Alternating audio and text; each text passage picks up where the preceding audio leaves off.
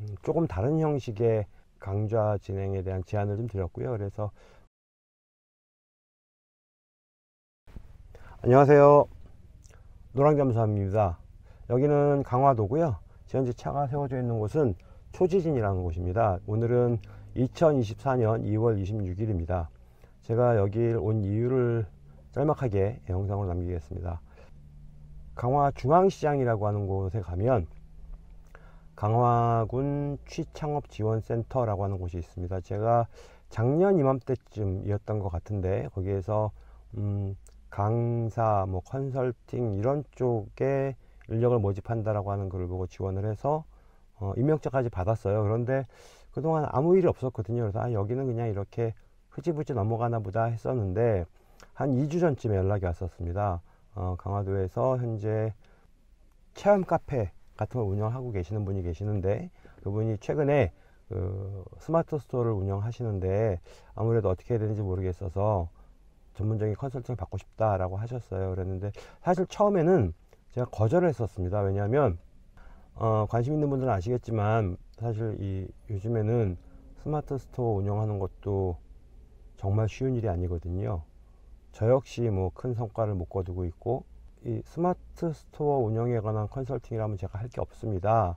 라고 얘기를 했고 그리고서 이제 이런 얘기 저런 이야기를 하다가 제가 말씀드렸던 건 뭐였냐면 인터넷을 이용한 홍보 방법에 관한 거라면 제가 말씀을 드릴 게 있겠습니다 라고 얘기를 해서 그쪽으로 예, 컨설팅을 하기로 하고 오늘 왔어요 왔는데 와서 보니까 환경이 되게 좋더라고요 어, 유튜브 촬영 및 편집을 위한 스튜디오도 있고 뭐 꽤 잘 갖춰져 있었고요 그리고 오늘 컨설팅을 받은 분은 강화 질시루라고 하는 떡 만들기 체험 카페를 운영하시는 대표님이세요. 그런데 작년 가을쯤부터 이제 스마트 스토어를 시작을 하셨는데 생각보다 쉽지 않다라고 말씀을 하셔서 제가 이런저런 이야기를 나누는 끝에 뭐라고 제안을 드렸냐면 아무래도 체험 카페가 활성화되는 게 더 우선일 것 같았어요.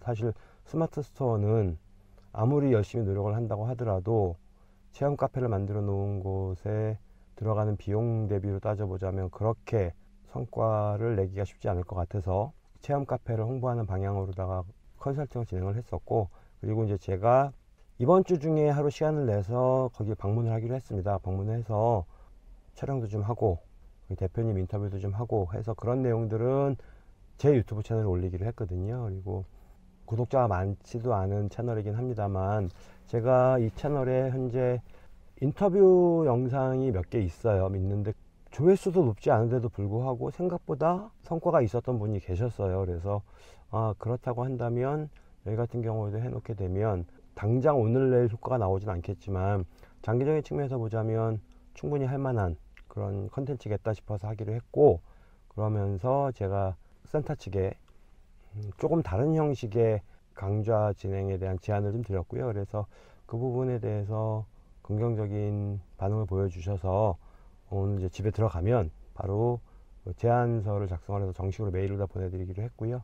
그래서 만약 그게 어, 오케이가 된다면 적어도 일주일에 한 번 정도는 강화도에 제가 주기적으로 와야 되는 상황이 되겠죠. 사실 저는 개인적으로 강화도를 되게 좋아합니다. 저희 어머님 같은 경우에는 이제 어, 원래 고향이 개성이신데 한국전쟁 때, 6.25 때 피난 내려오시면서 어, 친척분들이 일부 강화도에 자리를 잡으셔서 여기에서 인삼농사를 짓는 분들도 계시고 그 다음에 저희 아버지가 어, 고향이 통영이시거든요. 그래서 바닷가를 되게 좋아하시는데 음, 아버님 돌아가시기 전까지 강화도 드라이브를 꽤 자주 왔었어요. 그래서 여기 와서 식사도 좀 하고 해안도로 타고 달리고 이런 것들을 많이 했었어서 개인적으로는 강화도에 대한 어떤 그 내적 친밀감 예, 이게 꽤 있습니다. 그리고 어, 요즘은 사실 저도 물론 그렇습니다만 제 딸아이도 강화도를 되게 좋아해요. 그래서 뭐 어디 뭐, 뭐 식당을 찾아간다 뭐 이런 건 아니고요.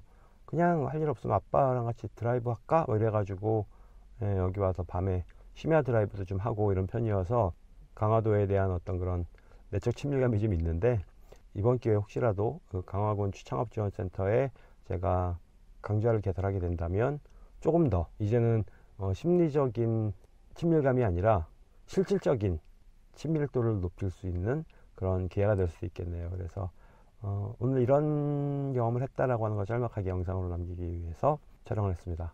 감사합니다. 노랑잠수함이었습니다.